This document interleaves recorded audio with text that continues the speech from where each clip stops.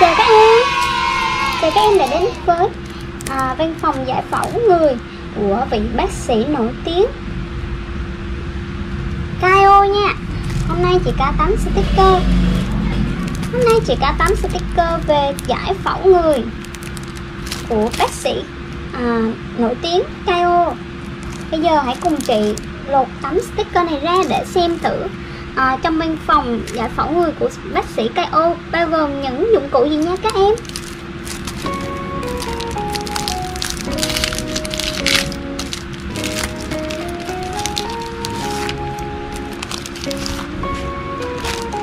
Đây là một uh, tấm bia mô phỏng về căn phòng uh, giải phẫu của bác sĩ KO nha các em. Chị sẽ dán những tấm những cái hình sticker này xuống dưới cái tấm này nha các em. Chúng ta cùng quan sát đầu tiên là nhân vật chính của chúng ta là bác sĩ Kaio anh ta là một uh, bác sĩ chuyên về uh, giải phẫu người nha các em. Anh ta có khá là nhiều bằng rất là giỏi trong việc giải phẫu cơ thể và xét nghiệm y khoa. Đây là một bệnh nhân uh, có vấn đề về tim và thận uh, khi đến văn phòng của anh ấy để anh ấy cứu chữa nha. Anh ấy để, anh ấy đã đưa bệnh nhân của mình lên một chiếc xe đẩy. Đây, và đẩy vào trong văn phòng để kiểm tra tình trạng sức khỏe. Đầu tiên là anh ấy cho anh ta nằm lên một chiếc ghế khám bệnh nha. Anh ấy tiến hành siêu âm và kiểm tra huyết áp để đo giải phẫu chụp các CT.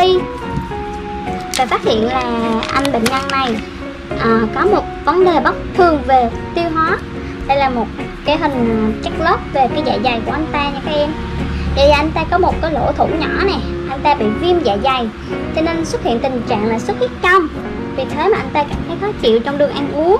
Và đã nhờ bác sĩ KO này à, siêu âm và kiểm tra và giúp đỡ cho anh ấy. Nào bây giờ bác sĩ KO sẽ tiến hành chữa bệnh thôi. Đầu tiên bác sĩ KO dùng một chiếc kính để đeo.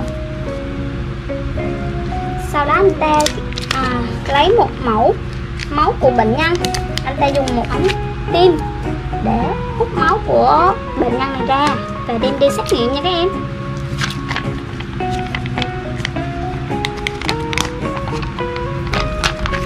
Sau khi đã lấy mẫu xét nghiệm thì anh ấy um, siêu và chẩn đoán là bệnh nhân này là bị xuất huyết dạ dày và anh ấy đã kê khai thuốc cho bệnh nhân này về điều trị.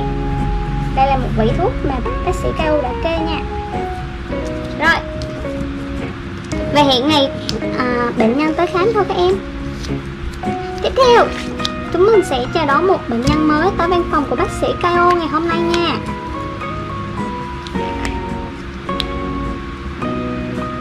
Rồi có một có một ca mới đây.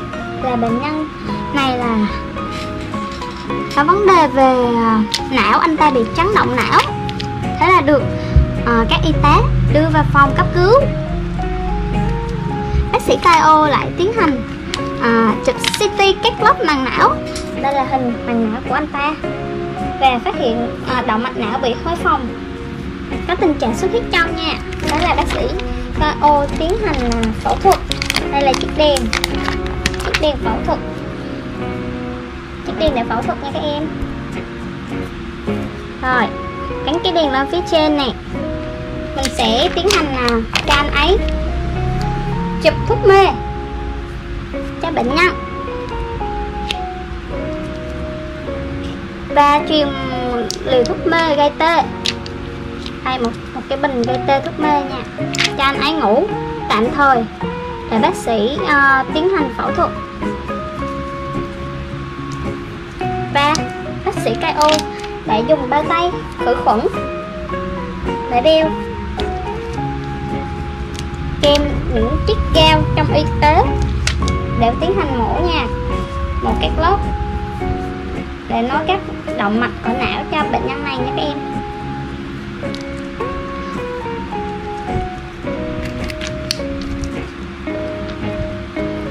Đây là một chiếc kéo y kho này.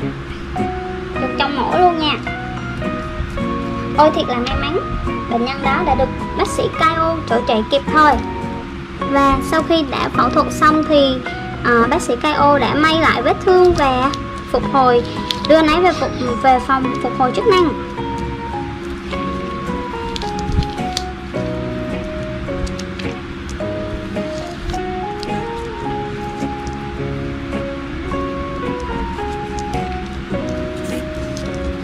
Rồi tiếp theo bác sĩ KO lại nhận một ca phẫu thuật mới đó các em. Xe cứu thương của bệnh viện vừa Xe cứu thương của bệnh viện vừa tới và báo có một ca khá là khẩn cấp.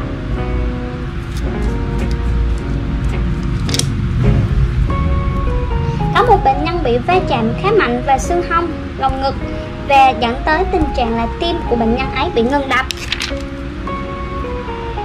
Ôi tim của anh ấy đã bị ngừng đập rồi ngay lập tức bác sĩ Kaio đã tiến hành phẫu thuật. Cho bệnh nhân này anh ấy đã bật chiếc đèn trong phòng khám lên. Chụp thuốc mê nha các em. Và mổ băng lồng ngực ra để um, sơ cứu. Y khoa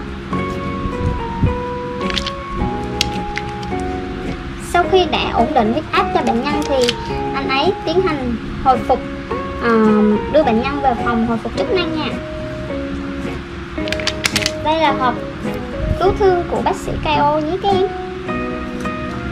rồi bệnh nhân của chúng ta đã được bác sĩ KO cứu chữa và anh ấy đã được đưa đến phòng hồi phục chức năng.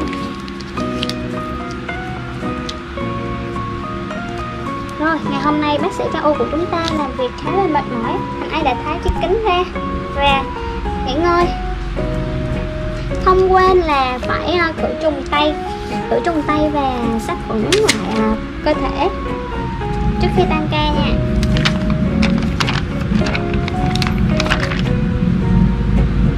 Nhưng mà có một bệnh nhân lại vừa mới vào Anh ấy lại nói về tình trạng là anh ấy bị tiếc kẻ chân đó là bác sĩ KO lại phải tiến hành à, băng bó và úp mổ đặt vết thương ngay chân để kiểm tra.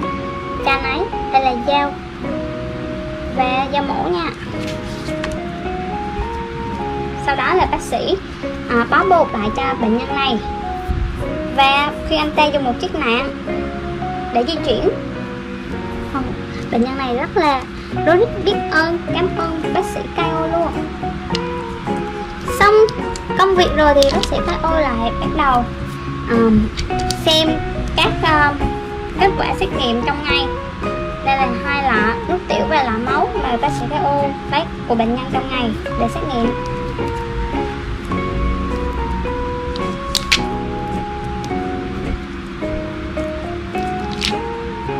Đây là các lọ máu và nước tiểu trong phòng thí nghiệm của bác sĩ KO nha.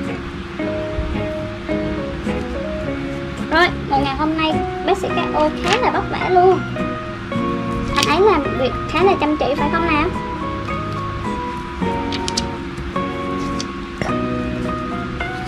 Đây là toàn bộ tấm sticker về văn phòng bác sĩ KO ngày hôm nay của chúng ta này các em.